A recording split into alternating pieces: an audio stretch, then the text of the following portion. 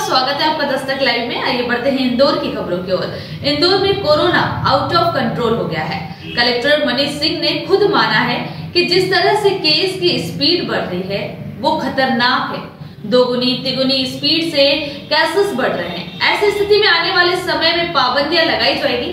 शादियों में limit fix करेंगे। बड़े आयोजनों और रैलियों पर रोक लगाई जाएगी। तीसरी लहर की दस्तक के साथ एक हफ़्ते में ही इंदौर की तस्वीर बदल गई है। नए संक्रमितों की संख्या सात दिन में बढ़कर दोगुने से ज़्यादा हो गई है। रिकवर होने वालों की संख्या आधी रह गई है। 24 घंटे में 110 संक्रमित मिले हैं। 206 दिन बाद पॉजिटिव मरीजों का आंकड़ा तीन अंकों में आया है। इससे पहले 10 जून 2021 को 117 मरीज़ मिले थे। शहर में पाँच दिन में एक्टिव मरीजों की संख्या बढ़कर पाँच गुना हो गई है। रविवार तक ये संख्या चार सौ अड़तीस तक पहुँच गई है। संक्रमण दर एक दशमलव पाँच आठ फ़ीसदी हो गई है। एक जनवरी को अस्सी मरीज़ मिले थे, दो जनवरी को इतना आंकड़ा सौ पार हो जाने पर प्रशासन की नींद उड़ गई है। दूसरी लहर में जिस तरह से हाहाकार मचा था और इलाज में फजीयत हुई थी, इस बार प्रशासन ने कमर कस ली है। रविवार को ठीक होने पर 21 मरीजों को डिस्चार्ज भी किया गया। यह बात ज़रूर है कि अधिकांश मरीज़ जिनमें संक्रमित के घर अलग ऐसे रूम और टॉयलेट हैं और हालत गंभीर नहीं है। उन्हें होम आइसोलेट किया जा रहा है। शहर में लगातार बढ़ते कोरोना संक्रमित संख्या को देखते हुए प्रशासन ने सख्ती का निर्णय लिया है। मास्क नहीं लगाने वाले लोगों को जुर्माना देना होगा। पब्लिक प्लेसेस में सोशल डिस्टेंस रखनी होगी। लोगों से कोरोना गाइडलाइन का पालन करने की भी अपील की जा रही है।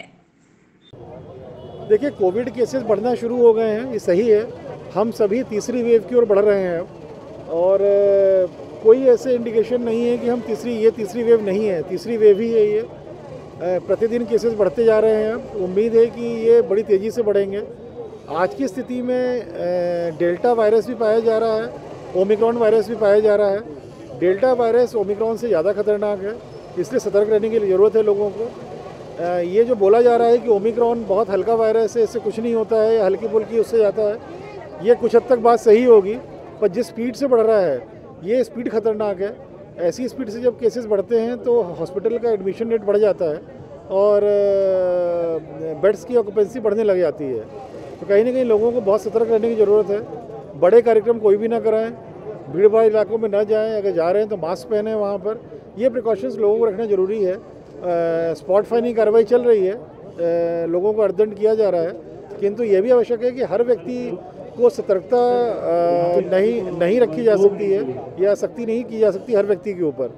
तो लोगों को खुद भी सतर्क रहना होगा। तो मैं सभी से बोलूँगा मास्क अनिवार्यता पहने। सर आज बच्चों का वैक्सीन जिस स्पीड से केसेस बढ़ रहे हैं प्रतिदिन अगर कल 180 आए थे आज मतलब परसों 80 आए थे कल 110 आए हैं तो इसकी संभावना से इनकार नहीं किया जा सकता है कि दुगनी तिगनी स्पीड से डेली केसेस बढ़े हैं इसमें।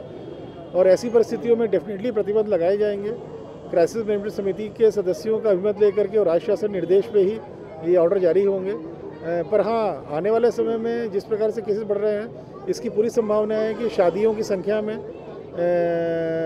लिमिट फिक्स की जाएगी, बड़े आयोजन, रैली, प्रदर्शन इन सब पर रोक लगेगी।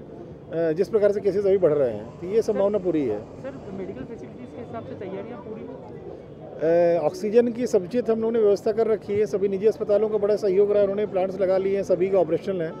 तीन, दो तीन अस्पतालों में एक ला- एक लाइफ केयर हो गया, एक ग्रेटर कैलाश हो गया और एक एप्पल हो गया। तीन अस्पतालों के द्वारा अभी तक प्लांट नहीं लगाए गए हैं। इनमें एडमिशन्स की संख्या को पचहत्तर प्रतिशत हम लोगों ने कम कर दिया है और इनको बोला है कि लगा लेंगे क्योंकि अल्टीमेटली कोविड के पेशेंट्स यहाँ भी एडमिट होंगे और अस्पताल की ज़िम्मेदारी ही हम लोग मानेंगे कि उनको ऑक्सीजन की पूर्ति करें वो लोग। अगर ऐसी कोई परिस्थिति आएगी तो इनके खिलाफ दंडात्मक कार्रवाई भी की जाएगी। बाकी सभी जगह प्लांट लग गए हैं, ऑपरेशनल हैं। हुकुमचंद में बिजली का इशू था, उसका रेक्टिफिकेशन चल रहा था, लाइन डल रही थी। एक दो दिन में वही पूर्ति हो जाएगी और हुकुमचंद का प्लांट भी चालू हो जाएगा। प्योरिटी सभी जगह 98 परसेंट नाइन्टी से ऊपर है। जो समझे थे इतनी प्योरिटी ही रिक्वायर्ड है।